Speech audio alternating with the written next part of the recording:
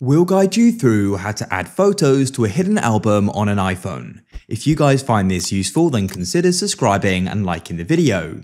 This is super useful if you've got photos on your phone, which you don't want to delete, you want to keep, but you only want yourself to go and see them. Therefore, you can move them to the hidden album to go and keep them safe.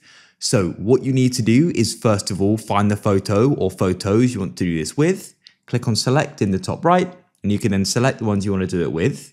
With them selected, you then need to go to the bottom right and you'll go and see three dots. Go and click there, and what you then need to do is go and click on hide. It says these photos will be hidden, but can be found in the hidden album, so they're being moved there.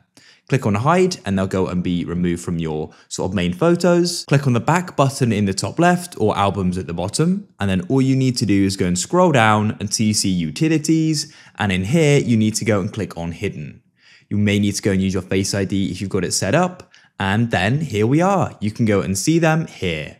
If you want to go and move them back out, you can click on select and then go and unhide them. If you found this useful, then leave a like.